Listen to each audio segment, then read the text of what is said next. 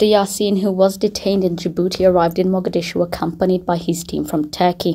He was fired two weeks ago by Prime Minister Roble over the death of NISA agent Ikran Tahlil and returned aboard a private plane, getting past the ban on commercial airlines of catering to him.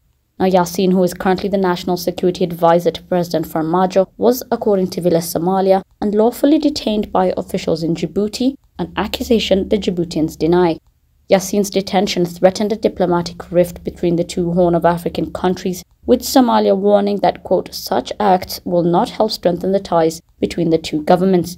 Now, President Farmajo and Prime Minister Roble locked horns concerning the hiring and firing with security agencies, triggering political instability as Somalia struggles to hold long delayed elections and fight rising extremism.